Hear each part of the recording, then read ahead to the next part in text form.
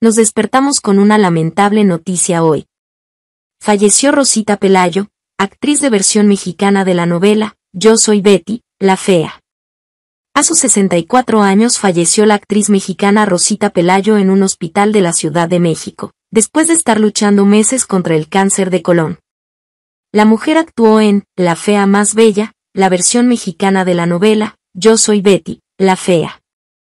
Su amigo, el periodista Jorge Samitis, confirmó la noticia a través de sus redes sociales. Ya está junto a mamá y papá Pelayo. Con profundo dolor lamento informar que mi querida amiga, Rosita Pelayo, falleció. Ya está junto a mamá y papá Pelayo, como ella le decía a sus padres. En breve informaré dónde y cuándo será los servicios fúnebres, escribió el comunicador. Trabajaron juntos en el programa de YouTube Pelayito y en la Boca. El destino de Rosita Pelayo, quien falleció hoy, estaba marcado desde la cuna. Hija única del conductor, Luis Manuel Pelayo, Rosita nació en la Ciudad de México en 1958. Su padre fue quien daba voz en radio al superhéroe Calimán y anfitrión del programa de concursos Sube Pelayo Sube, que dominó la televisión mexicana en la década de los 70 pero no era algo que le gustaba porque veía un trato diferenciado hacia ella.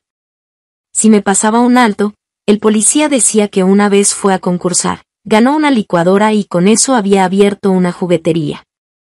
Entonces me dejaba ir, pero no, yo quería la infracción, contó Pelayo en el programa El Minuto que cambió mi destino.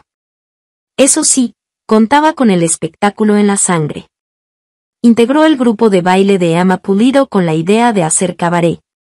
Incluso, realizó show con Men que era una de las más fuertes de la época, e hizo radio con Odisea Burbujas. Un día la conoció el productor Luis de Llano y fue cuando la invitó al Cachún Cachún Ra Ra Ra, emisión semanal que fue semillero de talento para Televisa, donde estaban entre otros, Alma Delfina, Lupita Sandoval, Fernando Arau, Lili Garza y Gerardo González. Además, Pelayo también participó en la novela La Fea Más Bella, una de las novelas más vistas en México, interpretando el papel de Lola Guerrero de Rodríguez.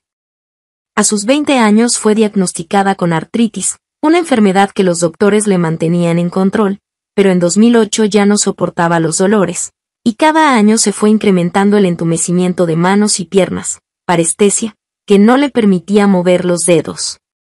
Comenzó a ser una pesadilla en la vida, recordó Pelayo, quien hace cuatro años comenzó a ser auxiliada para caminar y levantarse. Llegó un momento, reveló a Gustavo Adolfo Infante, en el que le pidió a Dios que si no la iba a cuidar, mejor se le llevara.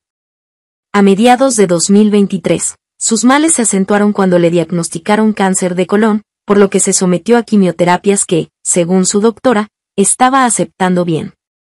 Se iba a someter a cirugía en 2024 para estirparle tres tumores y estaba emocionada por la obra A Vuelta de Rueda, en donde compartiría escena con Juan Carlos Colombo y Rafa Perrín en la dirección.